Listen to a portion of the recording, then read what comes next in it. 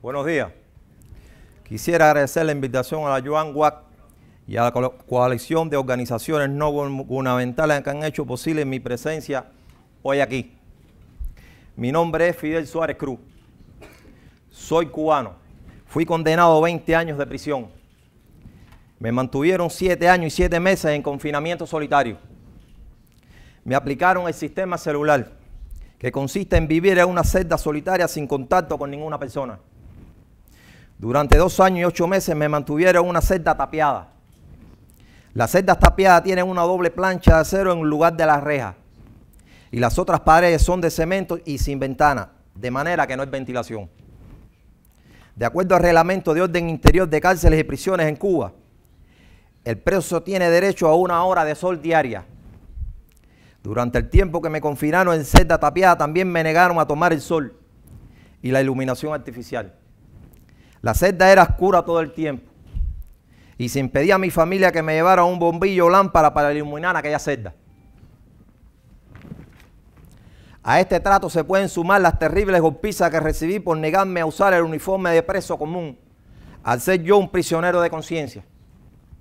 También me golpearon brutalmente por negarme a rasurarme y a ponerme de pie para saludar a los militares que hacían el recuento dos veces al día en la prisión. En el periodo de tiempo de un mes y nueve días fui golpeado por estas razones 19 veces, estando en la prisión de Ahuique en la provincia de Matanza entre enero y febrero del 2005. En esta prisión, se, esta prisión se encuentra a unos 525 kilómetros de mi casa, en el poblado del Cayuco, provincia de Pinar del Río. Las golpizas consistían en que un grupo de militares entraban a la celda y entre cuatro de ellos me levantaban y me lanzaban contra el piso. Otras veces utilizaban las tonfas, unos bastones de goma por fuera con una varilla, de acero por dentro. Con ellos me golpeaban las rodillas o las extremidades inferiores para obligarme a que me pusiera de pie y que me pusiera la ropa de preso común. Me daban con los puños en el abdomen, las costillas, me pateaban, me golpeaban la cabeza dejándome casi sordo del oído derecho y, casi sordo del oído, del oído derecho y casi sordo del izquierdo. Esas golpizas continuadas me dislocaron la rodilla derecha, me afectaron la quinta vértebra lumbar y la primera vértebra cervical. Esa golpiza me la propinaron una celda especial cuya arquitectura se asemeja a un número 5. Es una celda de sistema celular que para entrar a ella se pasan tres pasillos muy estrechos y dos rejas. Nadie puede escuchar nada, saber nada de lo que ocurre allí. Me mantuvieron un mes y nueve días de castigo. El oficial que dirige esta golpiza de forma personal es el capitán que se hace llamar Emilio Cruz. Las mismas eran ordenadas por el oficial de la policía política que atendía a la prisión, que se hacía llamar Peñate, y este por la sección 21 del Consejo de Estado. El 27 de julio de ese mismo año 2005, en la misma prisión por seguir negándome a rasurarme, fui golpeado nuevamente por dos oficiales de la prisión que se hacen llamar Dioval Gaincia y Yulei alias El Jabao. Me golpearon con los puños por el, cuerpo y por la cabeza, causándome hematomas múltiples. No me golpeaban directamente en la cara para no dejar huellas visibles. Estando confinado en la prisión Kilo 8 en Pinar del Río, recibí otras golpizas. En una de ellas, por protestar para exigir que le dieran atención médica a un recluso, fui arrastrado desde el tercer piso de la prisión por las escaleras hasta el primer piso de forma violenta luego trasladado al área número 2 de la celda de castigo de la, aledaña prisión 5 y medio. En esa celda de castigo estuve por espacio de 21 días. El resultado de ese trato fue que me dislocaron la pierna derecha, quedando en una pierna más larga que la otra. En otra golpiza, por protestar de forma pacífica, ya que las autoridades se negaron a darme la hora de sol, me pusieron las esposas de forma tal que horadaron mis muñecas, cortándome la piel y la circulación de las manos. En esa ocasión me volvieron a arrastrar, desde el tercer piso hasta el primero como una práctica habitual de castigo. Las características de las celdas de castigo de 21 días en el área número 2 de kilo 5 y medio son, se duerme en el piso un banco de cemento que sale de la pared, sin iluminación. Las ratas, cucarachas, hormigas son la única compañía que tiene el prisionero y en los meses de verano el calor es aficiante a tal punto que la celda más bien, más bien se asemeja a un horno. No se puede dormir por la incomodidad y la deshidratación que producen estas condiciones. Los alimentos, si es que se podían llamar alimentos, me los llevaba un guardia a la mencionada celda. Consistía en una pequeña ración de arroz, de papa o boniato mal elaborado. Y en numerosas ocasiones acompañado de gusanos y, y gorgojos. Lo que significaba que esos alimentos estaban en proceso de putrefacción. El 90% de la alimentación eran esas cantidades pequeñas de carbohidratos y rara vez un huevo o alguna víscera. Las condiciones higiénico-sanitarias de todas las prisiones por donde estuve puede decirse que no existen. Primero, el prisionero no tiene dónde sentarse, solamente el piso. Para hacer las necesidades fisiológicas se utiliza un hueco en el piso dentro de la celda. La tubería del agua para tomar y bañarse se encuentra alrededor de unos 10 a 15 centímetros del hueco, donde se quedan los restos de las heces fecales. Las llamadas camas están construidas de cabilla de hierro de construcción corrugada, llenas de óxido y soldadas al piso de la celda. En la prisión de Anhuica, en vez de ser de cabilla, es una cama de cemento. Todos los efectos de aseo personal los tienen que traer los familiares al preso, cuando pueden tener acceso a estos productos de los cuales el cubano de a pie carece. Las visitas, las visitas familiares para un prisionero de conciencia como yo, que además se negó a cualquier plan de llamado de reeducación, que no es más que un plan de adoctrinamiento político para que el prisionero se arrepienta de la causa de defensa de derechos humanos, tenían una frecuencia cada tres meses en condiciones normales. Quiere decir, cuando no estaba en celda de castigo con algún problema, con las autoridades del penal, yo podía ver solamente a dos personas mayores de edad en cada, cada visita y solamente podían ser de núcleo familiar más cercano y menores. Los miembros de mi familia tenían que recorrer alrededor de unos 525 kilómetros para poderme visitar. Tomando en cuenta las condiciones difíciles para trasladarse en Cuba, esto era un problema para mi familia, aunque ellos siempre fueron a visitarme a pesar de muchas privaciones y dificultades. En estos momentos la situación actual en Cuba es bastante preocupante.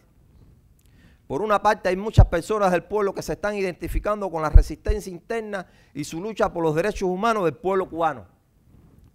Y por otro lado la oposición está protestando en las calles exigiendo libertad. ¿Qué hace la tiranía? Como método de terror está reprimiendo con golpizas, detenciones, gases lacrimógenos. Utiliza también una estrategia de detener al defensor de derechos humanos y luego de varias horas lo escarcela. En Cuba se violan todos los derechos contemplados en la Declaración Universal de Derechos Humanos, siendo Cuba un signatario de la misma. En cuanto al artículo 13 de esta, de esta declaración, en Cuba no se puede entrar y salir del país libremente además del derecho a moverse libremente dentro del propio territorio nacional. Los cubanos a los que se les permite salir del país necesitan la Carta Blanca, un documento emitido por el Ministerio del Interior, sin el cual no se puede salir del país. También para entrar al país, cualquier ciudadano cubano nacido en el país tiene que solicitar un, permiso de entrada o visa a las autoridades cubanas, que es concedido nuevamente por el Ministerio del Interior y depende de su actual político en el extranjero con referencia a la dictadura. En Cuba los padres no tienen derecho a elegir la educación de sus hijos. La educación es controlada y dirigida por el régimen y los niños son adoctrinados en la ideología comunista para formar hombres y mujeres que respondan a sus intereses. Esto viola el apartado 3 del artículo 26 de la Declaración Universal de los Derechos Humanos. La libertad de expresión no existe en Cuba. Los medios de comunicación masiva están en manos de la tiranía. O sea que un activista de derechos humanos no puede tener acceso a ninguno de estos medios. Si una persona expresa públicamente una opinión política económica contraria al régimen, puede ser procesado por propaganda enemiga, figura delictiva de acuerdo al Código Penal vigente en Cuba. También existen otras figuras consideradas delictivas en Cuba, como es la peligrosidad social predelictiva, que han utilizado para encarcelar a personas que son opositoras a la dictadura o a personas que están desempleadas y son consideradas peligrosas por el régimen. Hay un creciente número de jóvenes negros presos bajo peligrosidad. El 90% de la población penal cubana son negros y jóvenes. Esta es la manera que la tiranía tiene de controlar cualquier explosión social, utilizando métodos coercitivos. Considero que en este momento las revoluciones en el, Medio, Oriente han impactado dentro de Cuba, a pesar de la censura. Por eso la dictadura de la isla ha aumentado la represión. El resultado de estas revoluciones seguirá impactando y alentando a la población cubana en su lucha por la libertad. Hablo de censura porque, por ejemplo, en Cuba no existe libertad de acceso a Internet. Solo tienen acceso oficial la élite del régimen, instituciones gubernamentales y centros turísticos. En las provincias de Cuba es prácticamente imposible tener acceso a Internet. Es solamente en La Habana que se logra con esfuerzos y restricciones. Cuando yo entré en prisión en el año 2003, era impensable la existencia de blogueros en Cuba y mucho menos el acceso a Internet. El único medio alternativo que en estos momentos está funcionando es el Twitter que se usa a través del SMS. Pero es muy costoso para los cubanos porque se tiene que usar el teléfono celular. También los celulares y las líneas telefónicas son intervenidos por el régimen, pues este controla toda la red de comunicación en la isla. Incluso la dictadura utiliza teléfonos celulares de opositores para enviar amenazas de muerte a otros opositores. Esto para generar división y paranoia entre los que se oponen al sistema. La comunidad internacional no está haciendo lo suficiente con, respecto al tema de Cuba. Hay muchos gobiernos que guardan silencio acerca de las violaciones de los derechos humanos en Cuba. Algunos medios de comunicación internacionales también han sido cómplices de ese silencio. Considero que la tiranía debe ser acusada en todos los foros internacionales como violador de los derechos humanos de los cubanos, ya que eso es la esencia de la tiranía. Un sistema de partido único como el que existe en Cuba tiene que asesinar, reprimir, torturar, desterrar, encarcelar al pueblo para mantenerse y consolidarse en el poder por 52 años. Quisiera, quisiera que Cuba no esté olvidada, Quisiera la libertad y la democracia para Cuba. Sueño en un país donde todos los cubanos puedan disfrutar de la libertad por la que tantos han muerto. Quisiera que los cubanos puedan salir y entrar de su país sin tener que pedir permiso. Quisiera que tengan un modelo político que les permita desarrollar sus capacidades intelectuales y de esa forma ayudar en el progreso del país. Para finalizar, pido a la comunidad internacional apoyo para la resistencia interna y el pueblo de Cuba para poder lograr la libertad. Muchas gracias.